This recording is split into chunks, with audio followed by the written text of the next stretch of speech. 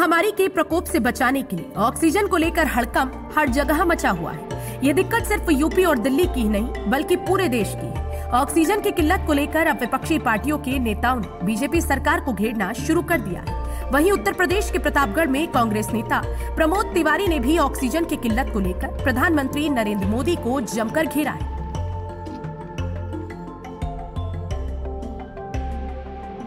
कांग्रेस नेता प्रमोद तिवारी ने कहा कि देशवासियों के लिए वैक्सीन और ऑक्सीजन की आपूर्ति करने में हम सक्षम नहीं हो पा रहे हैं और वैक्सीन एवं ऑक्सीजन का निर्यात किया जा रहा है। ये बेहद ही पीड़ादायक है। प्रमोद तिवारी ने कहा कि देश जवाब मांग रहा है। चौदह महीनों में कोरोना से लड़ने के लिए क्या किया?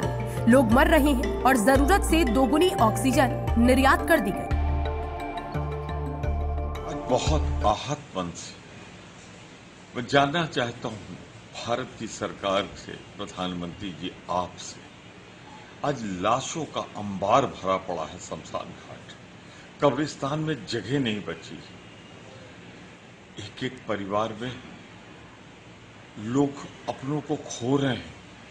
तीन लाख बत्तीस हज़ार तो आज तक दुनिया में कभी किसी देश में पूरे दौर में नहीं हुआ।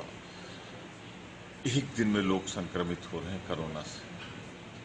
मैं जानना चाहता हूँ प्रधानमंत्री जी, आपने और आपकी सरकार ने ये इजाज़त क्यों दी कि ऑक्सीजन सामान से दुगना ज़्यादा 10-20 प्रतिशत नहीं? इसके साथ ही प्रमोद तिवारी ने कहा कि वैज्ञानिकों ने पहले ही कह दिया था कि अगर कोरोना की दूसरी लहर आएगी तो बहुत ही घातक होगी। लेकिन सरकार ने ध्यान नहीं दिया और चुनाव कराते रहे।